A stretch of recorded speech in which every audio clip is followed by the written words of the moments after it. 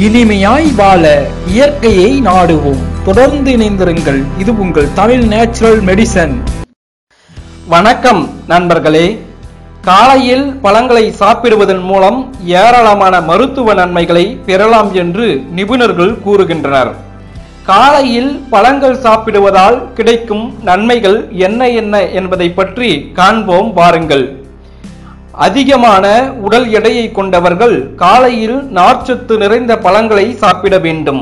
இதனால் உடல் எடையில் நல்ல மாற்றத்தை காணலாம்.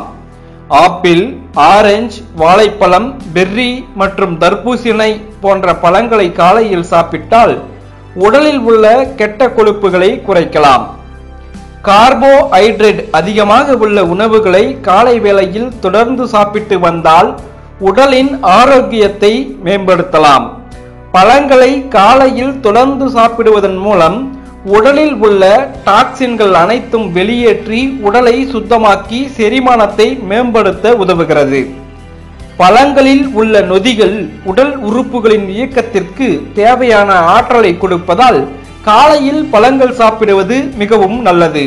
இது போன்ற பயனுள்ள மருத்துவ குறிப்புகளை பெற்று பயன்பெற தொடர்ந்து இணைந்திருங்கள். இது உங்கள் தமிழ் நேச்சுரல் மெடிசன்.